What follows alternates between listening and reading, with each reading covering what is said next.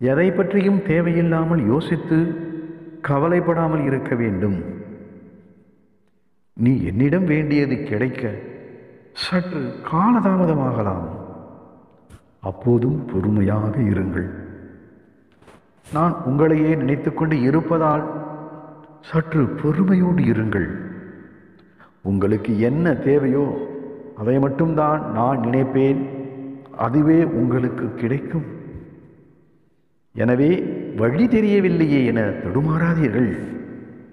நிச்சயம் நான் நல்வழி காட்டுவேன். அதுவரை பொறுமையாக இரு.